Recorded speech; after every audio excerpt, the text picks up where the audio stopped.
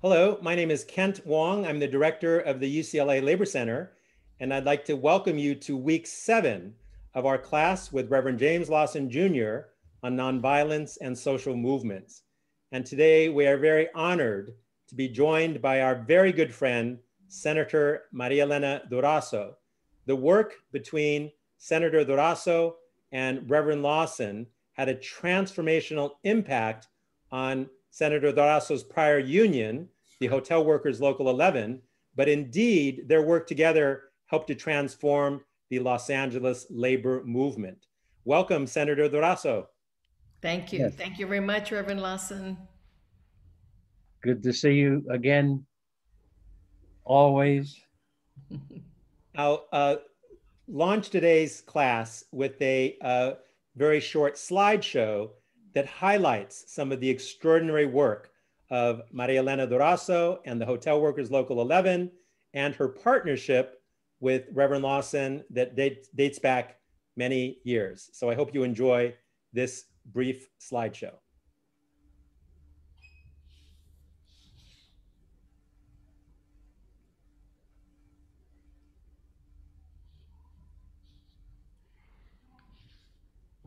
So this is on nonviolence and the transformation of the Los Angeles labor movement, the story of Maria Elena Durazo and Unite Here Local 11, the hotel workers. Maria Elena Durazo's breakthrough election back in 1989 to become president of the hotel workers not only shook up the hotel workers union, it had a huge impact on the Los Angeles labor movement overall.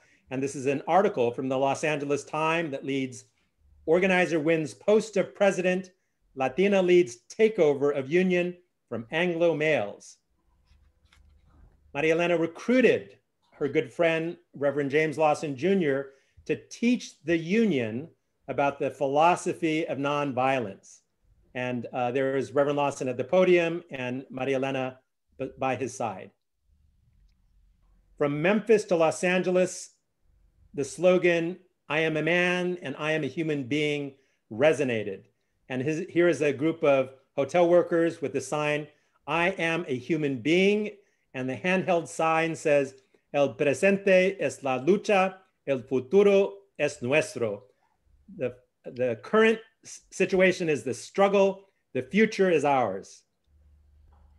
Miguel Contreras came to Los Angeles to help to rebuild the hotel workers local 11. He was actually one of the trustees that ran the second election that successfully seated Maria Elena as president of local 11. Miguel Contreras and Maria Elena Durazo helped to transform the Los Angeles labor movement.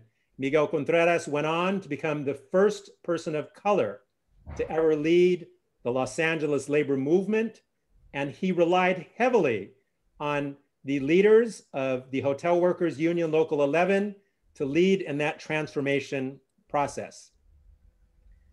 Unite Here Local 11 impacted the national AFL-CIO.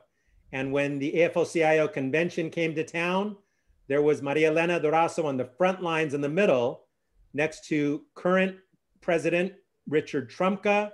Next to him was former President John Sweeney, and next to him is Linda Chavez Thompson, the first woman of color to hold a top officer position within the LA, within the AFL-CIO. And Maria Elena began the process of building union power through organizing. And there she uh, is uh, giving a, a, a, workshop on, uh, for her um, union leaders. Who's got the power?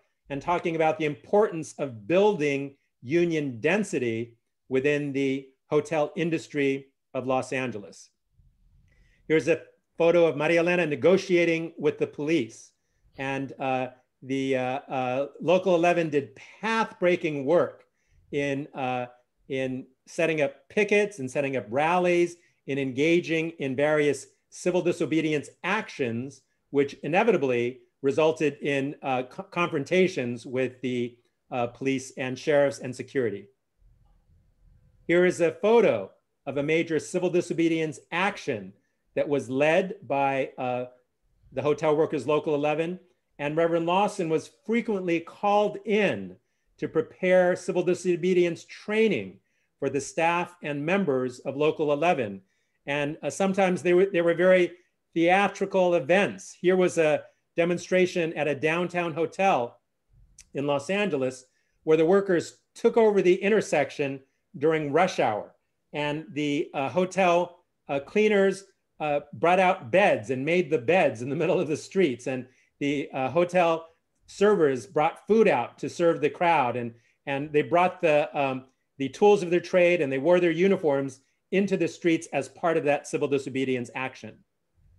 Here's a photo of hotel workers getting arrested. And uh, you see the uh, expression of the hotel workers who uh, had a spirit of determination, of power, of understanding that they were making history by taking these bold steps. Unite Here Local 11 was at the forefront of leading the fight for immigrant rights. And this was, in many uh, instances, a controversial initiative where the rest of the labor movement was not behind them with regard to the embrace of the struggle for immigrant workers and the demand for full rights for undocumented immigrants. At the largest May Day demonstration in US history, Maria Elena was one of the co-MCs when hundreds of thousands of immigrant workers took to the streets. And she introduced Reverend Lawson, who spoke at that rally, who declared, no human being is illegal. Maria Elena launched the Immigrant Worker Freedom Ride along with the leaders of Hotel 11, once again with the counsel of Reverend Lawson, who joined her uh, at the uh, rally in uh, back east at the culmination of the 3,000 mile immigrant worker freedom ride.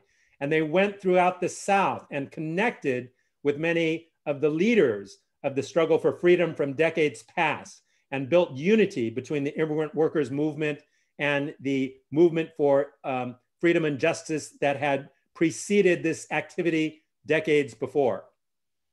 Unite Here Local 11 helped lead the fight for political power and to uh, mobilize their communities to turn out to vote in record numbers.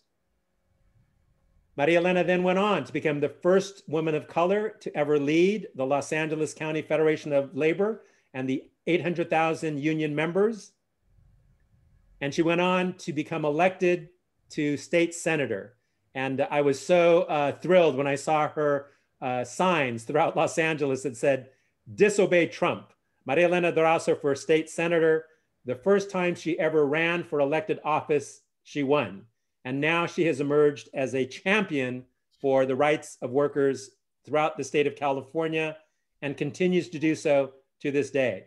So uh, we are so grateful to have you with us, uh, Senator Durazo. And the first question is if you could please tell me about your own history um, as a, uh, uh, person from a farm worker family and what motivated you to become an activist and how you first met Reverend Lawson. Well, thank you, Kent. Um, I um, I'm glad we start with with what sort of led me to uh, doing this kind of work, and certainly the conditions in which our family worked in we were migrant farm workers. So we went from crop to crop to crop, from town to town to town, you know, a couple of times a year to different different towns. And uh, you know, the term homelessness homeless was not the term that people used back then. Uh, you know, this was in the 50s and the 60s.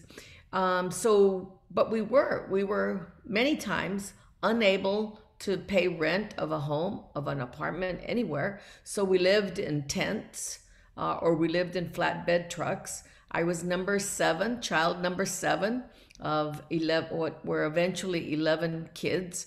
Um, and our whole experience was that of we counted on our whole family because we were our friends. We were we were our own circle of friends. Uh, we didn't stay long enough to make friends uh, and keep them through the years. Uh, but we all worked side by side with each other. Um, my father would negotiate the best deal he could, uh, considering some of us were really young. Um, and uh, we were kind of his crew. But uh, clearly, clearly, the growers took full advantage of us, of um, childhood, you know, working working in the fields as as small children and not making enough to put a roof over our heads. Many times, not making enough to buy uh, the food that we needed to to feed ourselves. But my father had and my parents had a very strong work ethic, and you're going to work and work, and we're going to do everything we can to support our family uh, by working. And so, certainly, those things, you know, I lost a uh, an infant brother um, because we were unable to get him to the doctor when we lived in the in the San Jose area uh, in a, in in the tents. So uh, there was a lot of pain but there was a lot of happiness. There was a lot of trust and belief. We had values. My parents raised us um, uh, very, very in in the faith of uh, of Catholicism. But to me, eh, they didn't read the Bible to us every night. What they did was they showed through their actions what our faith was all about. You mm. know, helping people who were poorer than us. That seems kind of impossible, but my dad did. So I think those were the the first the foundation of uh, what later be, led me to become an activist. The the anger at the injustices, but the love of people like my family and my and my parents. Um, I couldn't believe that I actually got to meet Reverend Lawson uh, back in the day. I was I was an organizer, but we really needed a lot of help because we didn't want to be a traditional union for business, sort of business unionism. We wanted to be a movement. And we knew that including immigrants with the broader uh, labor movement would give it power. And our best um, our best example was the farm workers movement. It was about creating a union for workers, but it was also about a movement that was much, much, much bigger. And um, we needed help in doing that. And so I got connected with Reverend Lawson, and uh, we started this whole 25 year plus uh, relationship uh, where he went little by little taught me and taught our whole union uh, what were the most important elements of building a movement, a nonviolent movement. Thank you, um, Maria Elena. Um, Reverend Lawson, uh, you had done extraordinary work uh, with the um, uh, union during the Memphis sanitation workers strike. We had an earlier session with uh, Bill Lucy, your good friend. And um, uh, when you came to Los Angeles, the hotel workers was one of the first unions uh, that you really worked very closely with for an extended period of time to introduce the philosophy of nonviolence. what approach did you take uh, to um, work with Maria Elena and to work with the um, staff and leaders of the hotel workers? Well, actually, I took a rather, for me, normative approach. Uh, I'll never forget the day in my office that I, uh, at home in the United Methodist Church, when the phone rang and it was Maria Elena Durazo. Um, her presidency of Local 11 was firmly established, and she said that we, uh, I don't remember the exact conversation, but she said, We want, I want you to see, I want to ask you to come and teach us nonviolent struggle, methodology, and resistance. So, uh, I said yes to that. Of course, I was elated. Union saying we're going to organize around nonviolent tactics and and fierce uh, commitment to change and to justice. So my uh, our our first agreement was we we she brought together her executive committee, as I recall, and a number of mm-hmm. uh, organizers in the union, and we went through the basic elements of a nonviolent philosophy non nonviolent history, nonviolent strategy, and tactics. I tried basically, as I recall, to uh, uh, organize the kind of workshops I did uh, with Martin Luther King Jr. in 58 with the Southern Christian Leadership Conference, with the Nashville campaign, the Birmingham campaign, and the Little Rock Nine, to, to give them an awareness of uh, our wrestling with an ancient tradition of resistance that did not get written up in the books as a subject matter, but rather as episodic, biographical event uh, events and people. But a history now, of course, that is more and more appearing appearing in major documents. And so uh, I don't remember how long we ran that first series of workshops. Um, but um, that began a very keen relationship and uh, indeed and i'm just uh, deeply pleased that maria elena and i crossed paths and that local 11 did the good work that they did and are still are still doing. I recently did a um, a one day group with local 11 staff. There were about 100 people there. Well, back in the mid 80s when Maria Elena started, I don't think there were any near near 100. We It's a relatively small executive committee, relatively small number of organizers. So that's how, how much growth. Uh, uh, the uh, local 11 has done and and then transferred to that to many other people. And the other thing that I was interested in, I in that one day session was I asked them what kind of union are you, and it was unanimous. We are a justice union. they said uh, from all over the room came we're a justice union we're, work, we're working on the issue of building a union that affects change around all the issues that affects our members and their families. So that that was that was a wonderful um, day when uh, uh, uh, uh just a handful of years ago. That uh, partnership and friendship uh, that has extended for the past 30 years indeed was transformational, not only for Local 11, but for the Los Angeles labor movement. I still remember that you would gather a group of us, Reverend Lawson, at Holman. Uh, it was yes, the Holman group. That's right. Uh-huh. And, uh, a number of uh, uh, emerging young troublemakers would have conversations with you on a regular basis and learn from you and to engage in conversation with you. It was so transformational to so many of us. And um, we learned from each other.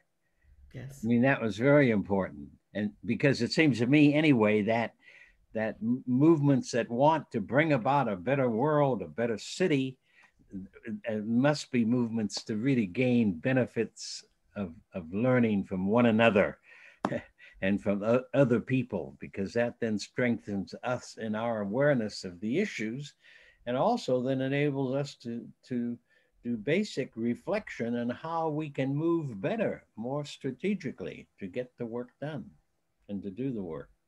I have that's now very, a very strong. That's now a very strong element in the labor movement in Los Angeles. Mm-hmm.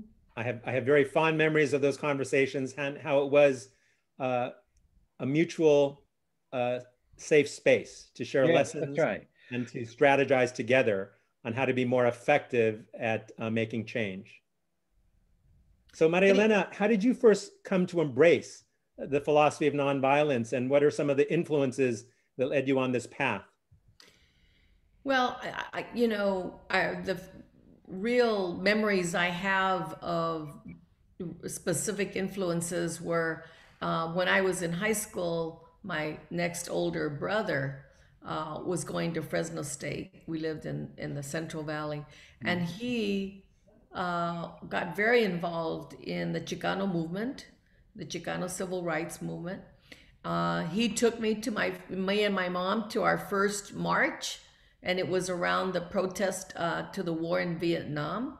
Mm-hmm. Uh, my brother burned his draft card, uh, but he was uh, he was extremely dedicated to nonviolence tactics.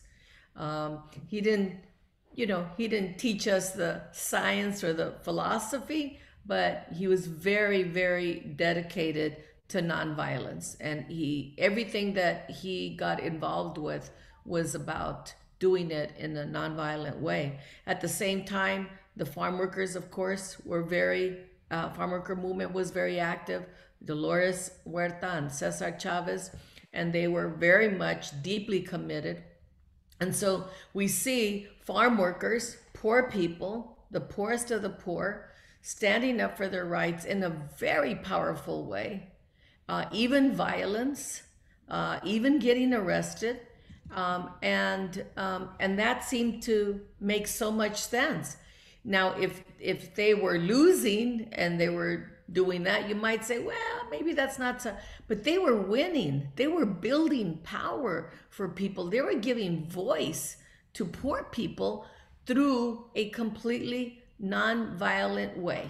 Mm-hmm. And so no matter who beat up, who beat them up, no matter if someone was killed on the picket line, they stayed strong and they kept moving forward. The fasting and all the specific tactics, but it was a clear cut, almost a demand that was made on people that you have to do it in a non-violent strategic way and that's the way to make change so those those I were clearly influences in my life as young as high school. So when I went away to college, I sort of took those as well. That's the way we're going to do it for as long as I know, and it was true at St. Mary's College. I introduced those same tactics. We fasted. We took over the chapel on the campus. We did a, a lot of things to make the demand. So um, uh, when I met Reverend Lawson, he taught us in a very disciplined, organized way, and we were engaged in activities, in campaigns, in, in real strategy. So this was not a tactic, this was a real strategy to win. The first time that I took it uh, to that level yeah. of, of seriousness. And so Reverend Lawson not only met with our leaders, on an ongoing basis. But when we then had all these campaigns and battles, one after another after another, he was always there to help us understand that battle and how to keep moving forward. There was one particular uh, time that was extremely difficult. We had had a several several year battle with the Hyatt hotels. Uh, we thought we had done everything possible. We did picket lines inside the hotel. We did picket lines outside. We did strikes. We did uh, uh, took over the lobby and got arrested. So we were at our our end. We we just felt like we were not going to be able to move forward in, in any way whatsoever. It was just exhausting, exhausting, and um, so we invited Reverend Lawson and Cesar Chavez to come and speak uh, to the workers. And that was just the most power, one of the most powerful moments in my life for Cesar Chavez, who knew what it meant for the long struggle. You just and and he he talked to them about what farm workers had gone through, and of course Reverend Lawson did the same thing. The two of you together completely held us up so that we could keep on moving forward and eventually win that fight. It was a pivotal, pivotal moment and everybody was watching because it was the first uh, campaign under my leadership. So to win it was extraordinarily important. But those were influences that stayed with you because stayed with me because it meant winning with a strategy of nonviolence at the core of our campaigns. Thank you, Maria Elena. I remember the Hyatt campaign. I remember those uh, picket lines. I remember those actions. And I remember being with Reverend Lawson, where uh, there was a, a, room full of Latino immigrant workers, and uh, Reverend Lawson was the, you know, uh, only, you know, uh, uh, non, you know, Latino activist in the room. and so, you know, Reverend Lawson, um, tell me about your commitment and your decision to align with this emerging uh, immigrant workers movement of Los Angeles and uh, what made you choose to prioritize that struggle? Well, I think mostly it was because Local 11 wanted me to be aligned with them, wanted to be, me to connect with them, and wanted to engage me as a fellow human being in that struggle, and I'll never forget it. Uh, the, uh, the the Hyatt, uh, I think uh, the Hyatt um, big campaign was where at one time we filled up a restaurant with people and we, we were all arrested in it, as I recall, all arrested for that effort. Uh, but it was a kinship that developed um, between Maria Elena and her staff and myself, uh, uh, uh, knowing that we could be on the right path to make things change.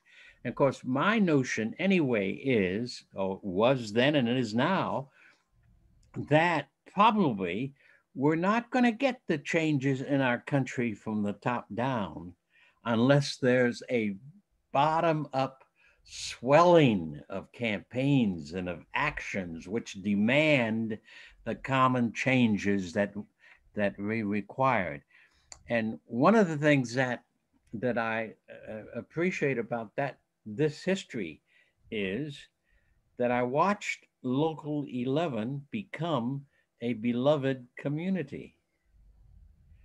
One of the most impactful experiences I've had in my lifetime was, was the care and attention and compassion and love that those meetings exemplified again and again, whether in a workshop or whether on the front line.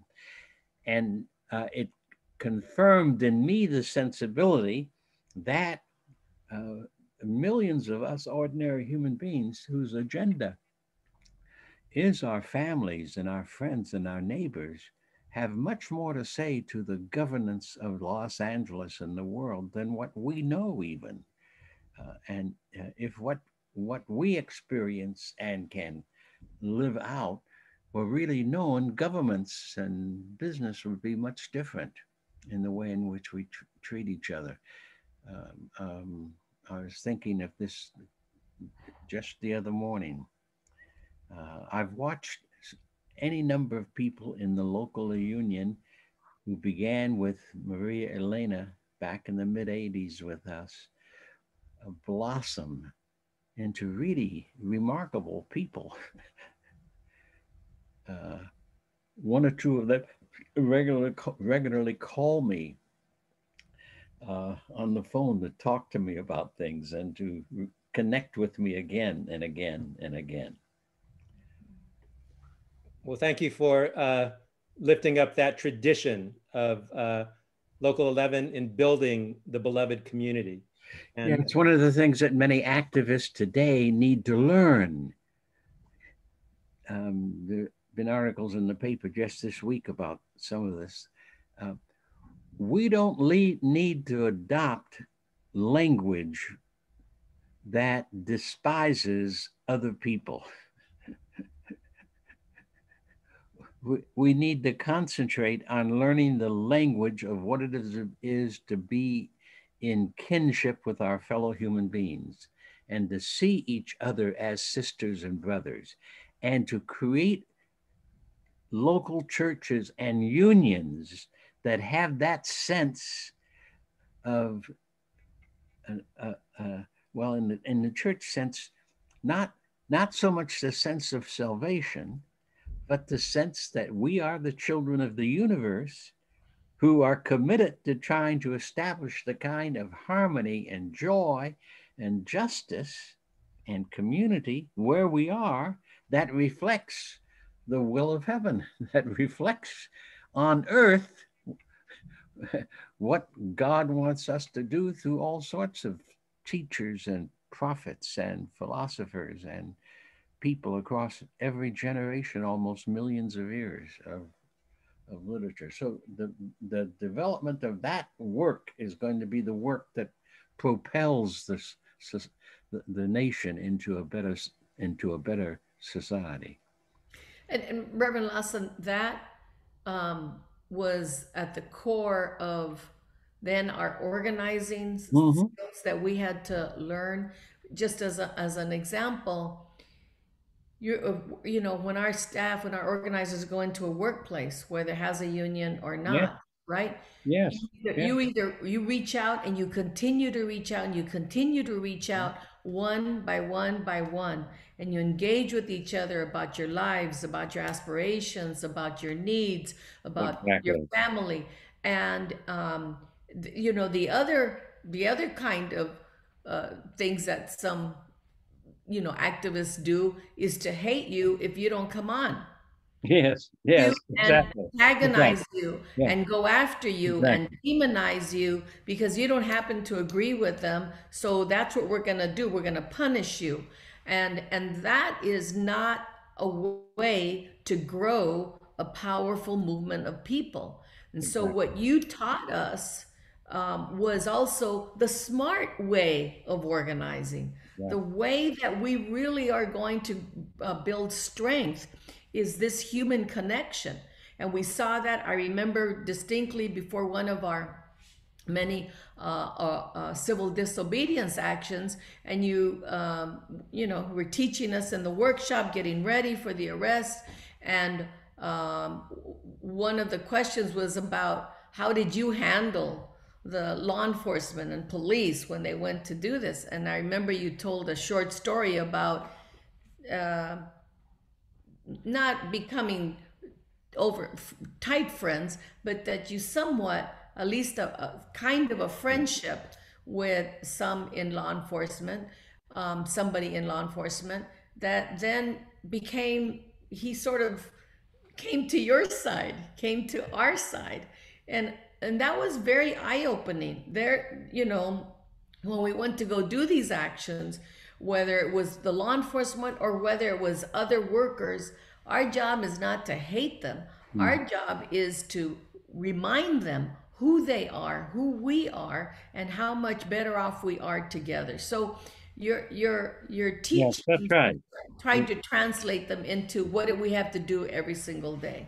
Yes, I was uh, uh, uh, reviewing some of this in a history book on uh, the it's uh, 1770, 65 to 1775, the pre-Revolutionary War movement in United in the 13 colonies that was essentially a nonviolent movement.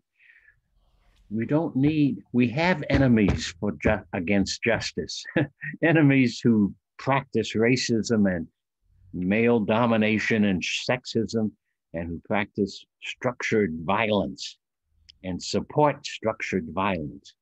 Well, we don't need to add to that group with the methodology. Our task is not to eh, multiply the wrong. Our task is to disba- is to dismantle and dissolve the wrong.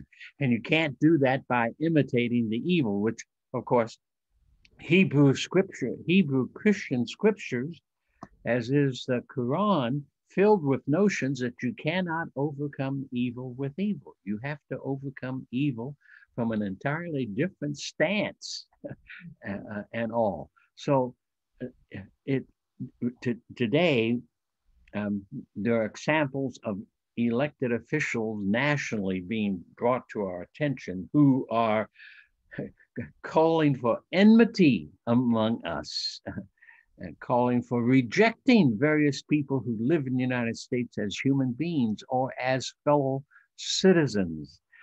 Rejecting the notion of the, equality, of the equality of life. We hold these truths to be self-evident that all are created equal. The historical document of the Declaration of Independence. Well, uh, nonviolence is the gathering of the history that says that that is not the way you create a nation, a city, a county, a hospital, a unit, a, a, a union.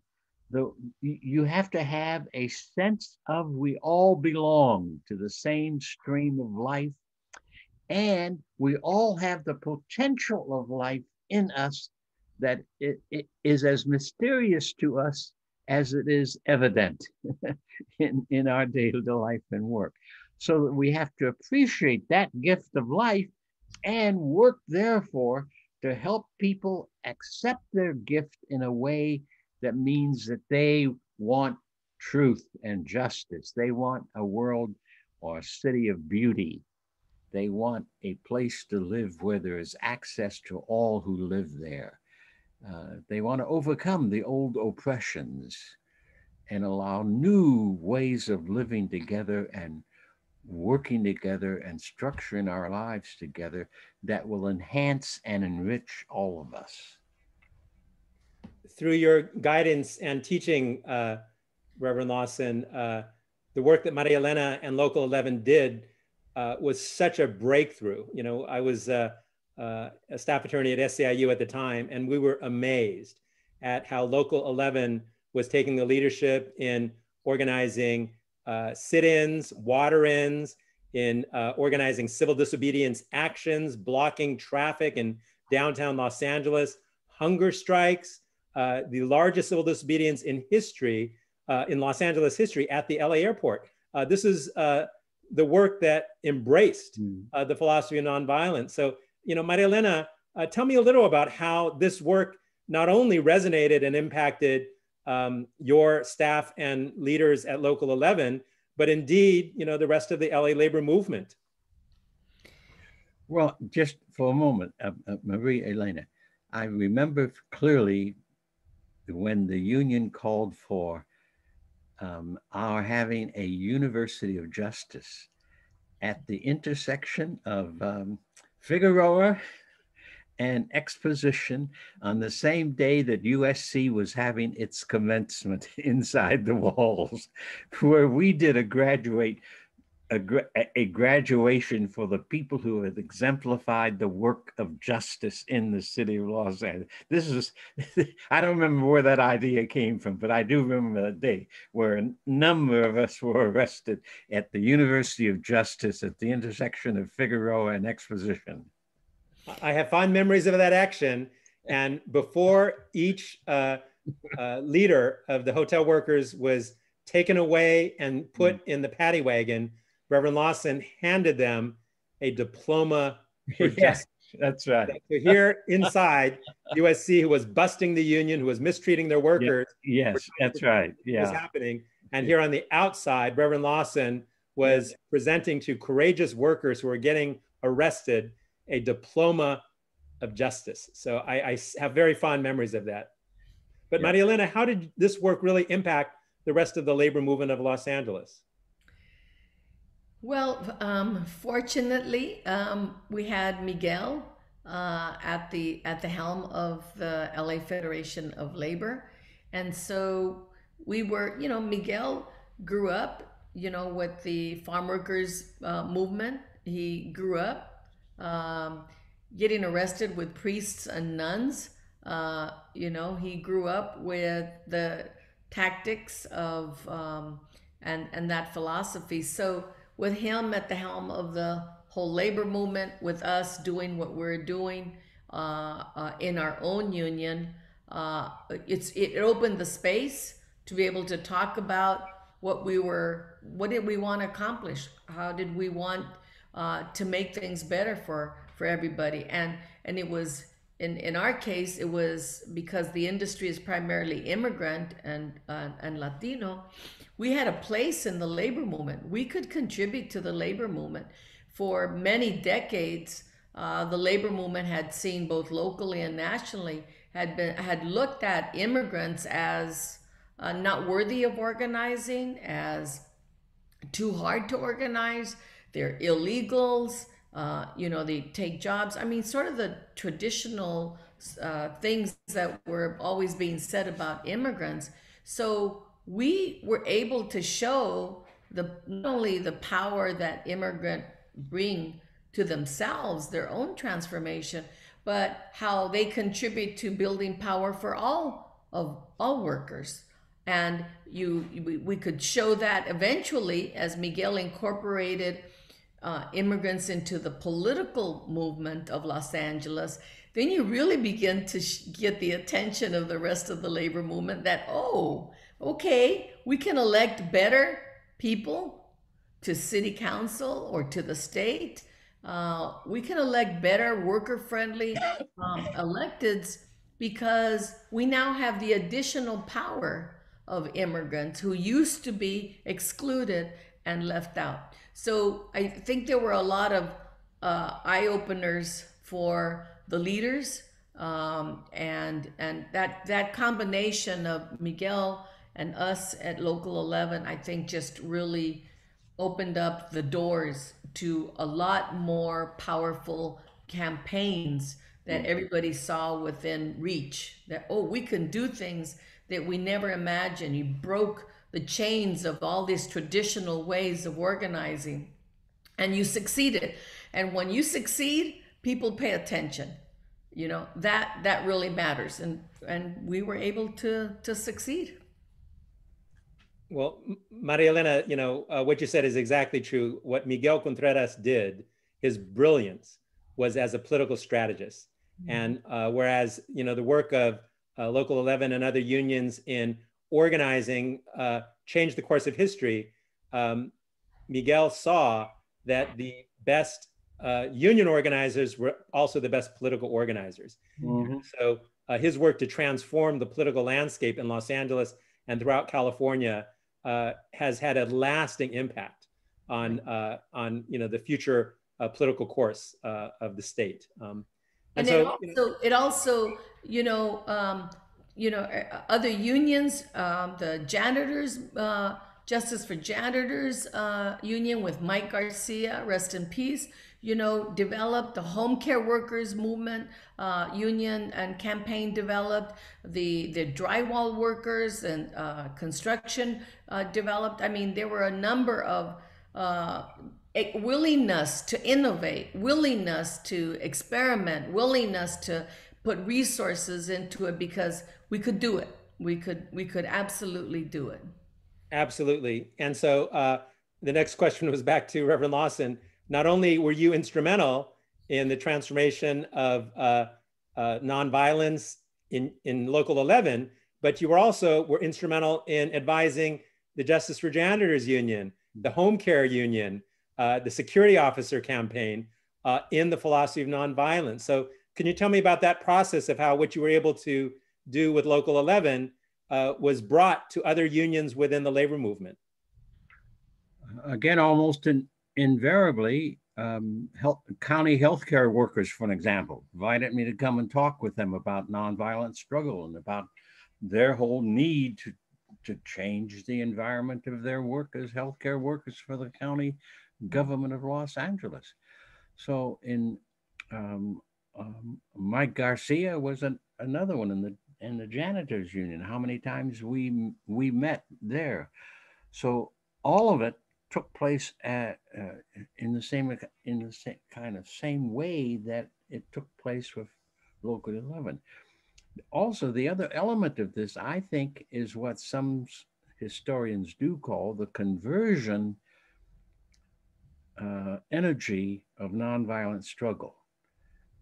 If you imitate evil, uh, the evil doers have no way of facing their wrong.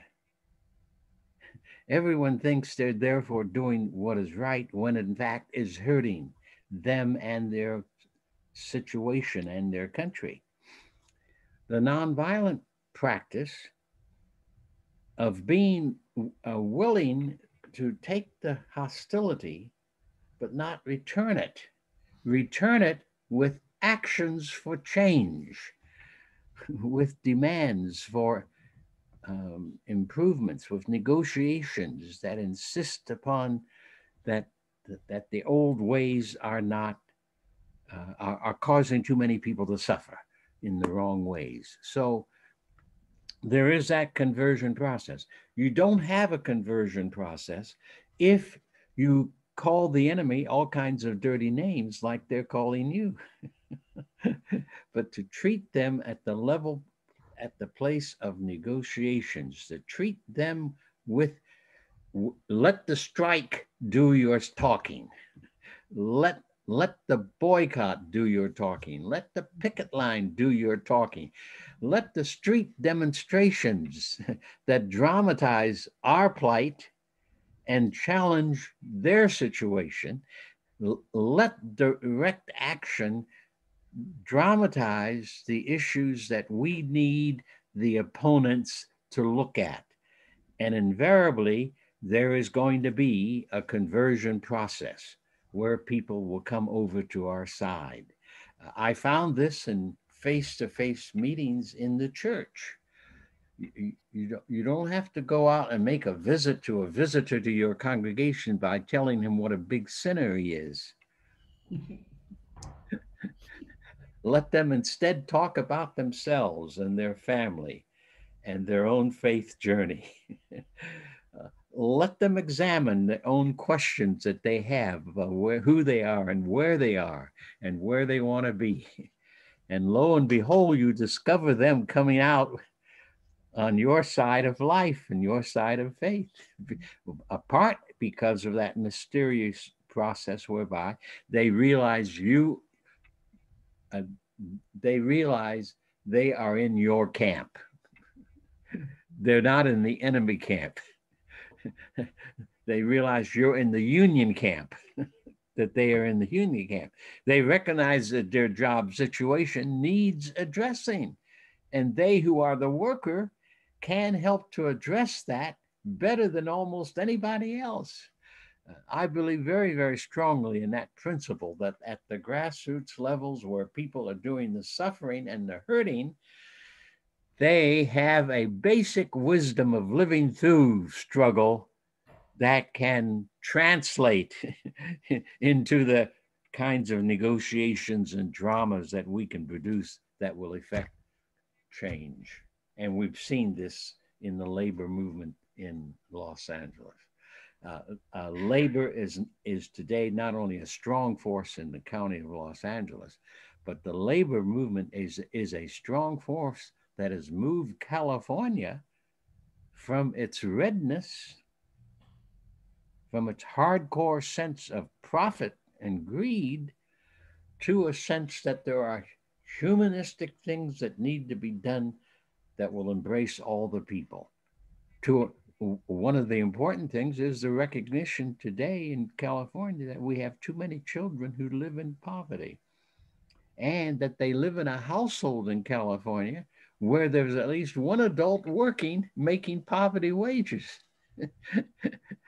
that that the same moment that the massive visible ludicrous wealth is being demonstrated there are children living in poverty and those children and those families can be given the power to change the situation and make make California a better state.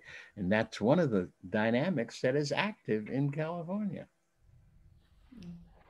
That theme, uh, Reverend Lawson, of how uh, workers' victories and workers' struggles inspire other worker struggles and other worker victories. Um, I've seen that, and I've seen the work of Local 11 in making a breakthrough at organizing immigrant workers challenged the national labor movement to make a change with regard to their policy on immigration. So it was Unite Here in partnership with the LA County Federation of Labor, in partnership with the farm workers and SEIU and UFCW that fought for and led the change in immigration policy for the national labor movement. And one of the most powerful campaigns that you helped to spearhead, Maria Elena, was the Immigrant Worker Freedom Ride. Mm-hmm. That, uh, uh, went all across the country. So could you tell me about that particular campaign and how in particular it impacted the link between some of the historic freedom struggles in years past, even the term freedom ride, immigrant worker freedom ride, how it linked to that chapter um, of past struggles? Well, because of um, my relationship with Reverend Lawson, we certainly um, learned the the critical role that the nonviolent um, movement has played in this nation, in this country, for everybody. It wasn't about a group in one state, it was about impacting the whole nation, the whole country. And uh, we wanted to, you know, we had just gone through, if you recall, um, September 11th and the attack um, and you know what that did, the trauma that I created in this country, um, and there was a a move to use that as a way to turn against people of color, you know, non-whites in this country. So uh, that really kind of was at the at the core of what do we do about it? How do we show that really the majority of people in this country are not that way?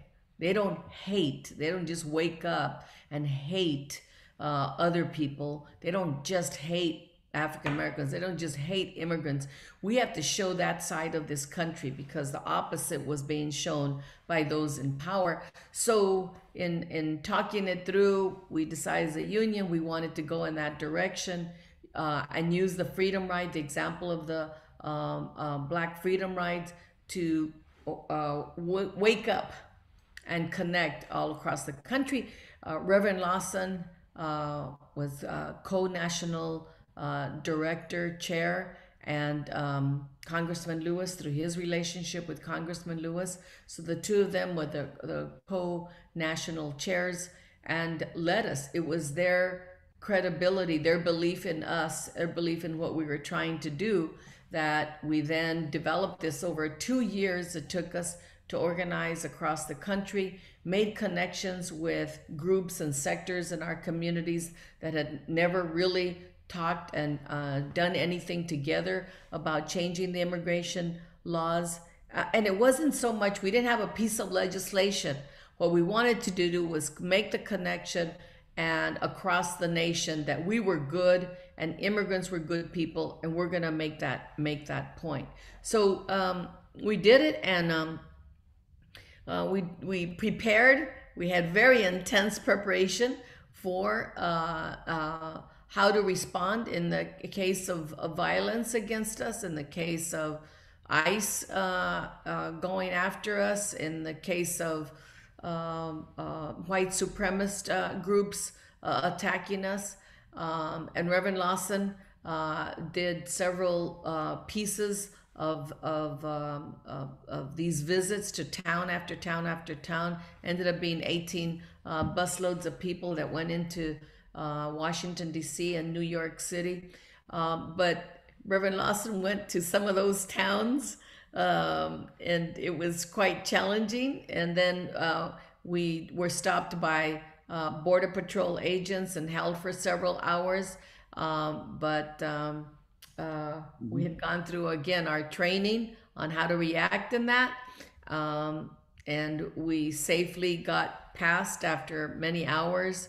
Uh, lots of details I won't go into, but the, the bottom line is we helped to change the discourse, the narrative in this country from being so hostile against uh, immigrants, um, full of hate, we changed it and we found what was truly in the hearts of most Americans, and that was that um, uh, immigrants are human beings just like everybody else. Thank you, Maria Elena, and uh, the work that you have done historically with the Immigrant Worker Freedom Ride, with changing the national policy of the AFL-CIO, uh, with organizing immigrant workers, uh, it is having impact today as the national uh, movement for immigration reform is uh, gaining momentum and energy. So we are grateful uh, for that work.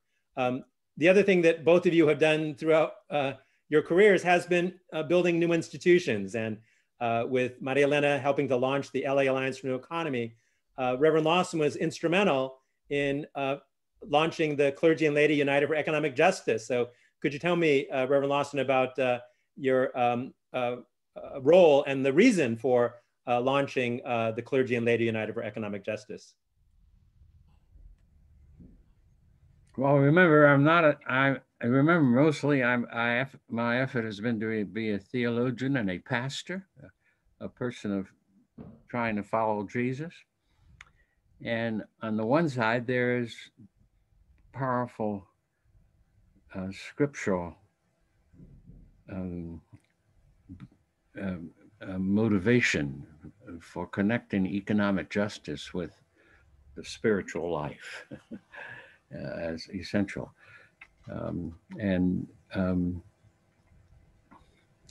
there are two texts that come to my mind very quickly from Jesus of Sirach, um, who was a Jewish teacher 180 years before Jesus of Nazareth uh, in a big book that's called Ecclesia- Ecclesiasticus. It's not a part of the Hebrew Bible, but I think any of us who are students of the Hebrew Bible and the Christian Bible know this book. Um, it should actually be in the Bible. I've been meaning to investigate why it's not. But in any case, Jesus of Sirach says that when you deprive a worker of their wages, it's murder. That's in the 35th chapter, the 36th verse, I recall, of the book of Ecclesiasticus or the book of Sirach, Jesus of Sirach. And then Jesus says uh, two or three times in the books of his life um, that the laborer deserves his wages. Um, so, in fact, I use those texts when I, in fact, um, uh, called for a meeting at Holman Church of clergy and union people, out of which then we organize Clergy and Laity United for Economic Justice, what we call in Los Angeles CLUE. Um, and the main the main part of that is about pastors of congregations being aware of what their congreg- their congregants have to go through in daily life in order to sustain themselves and keep themselves and so that the work they do is critical to the well-being of the congregation as well as critical to the to the life of working people. So clue is our effort to call upon the religious community at the local level to do the work that abolishes poverty.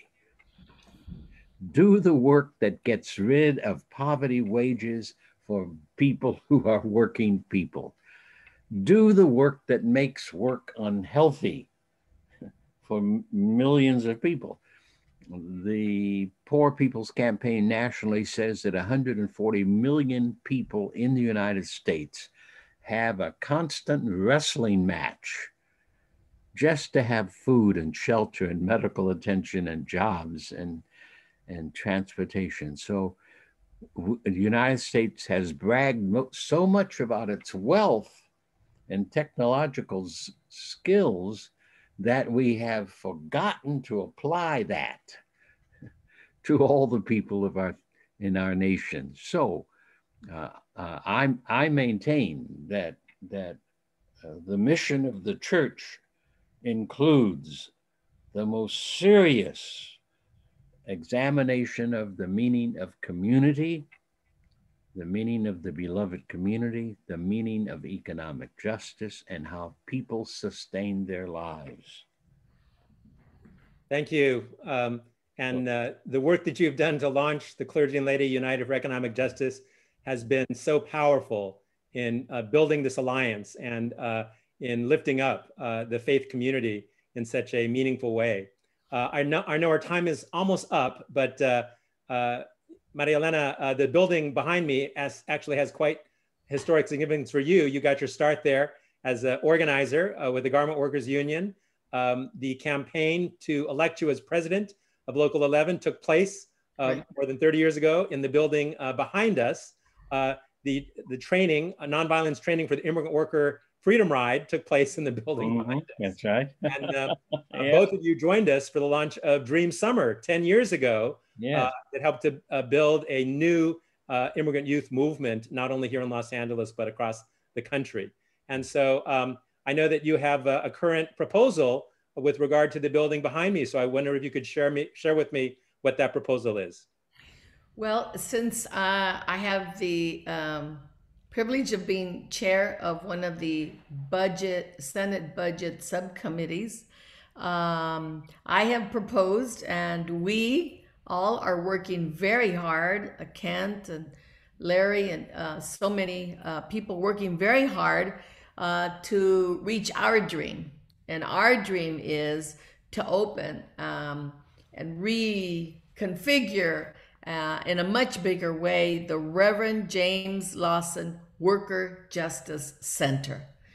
There, this this is a, a small token of the recognition uh, that Reverend Lawson deserves for having taught us, he continues to teach us for so many years what we need, what workers need a center of innovation, a center where workers feel free uh, with, you know, college students feel free to walk through those doors and learn about contributing to building a movement, can learn about uh, how you contribute to the justice movement.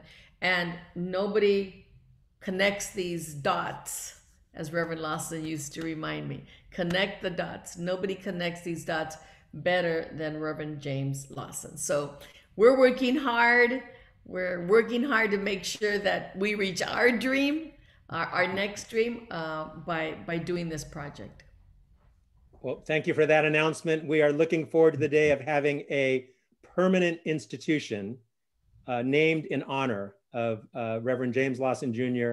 Uh, that will be forever a powerful source of uh, meeting, of nonviolent strategy and tactics, and advancing a social change agenda. So uh, thank you, Senator Maria Elena Durazo, for your support for that. And we hope to realize our dream very soon.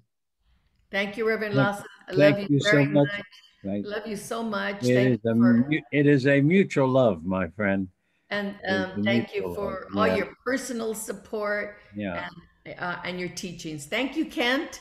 Uh, thank you, for, yeah. This, this is very good for my for my soul to be able to uh, have this conversation. Yeah, same for mine. That's right. Because we've been connected for 30 years since the 1980s at least. it, is, it has helped sustain. We'll have to struggle, and it's been a great experience. A great part, a great part of life. Oh, there's so many other things. We need a, several more hours, Reverend Lawson. Yeah.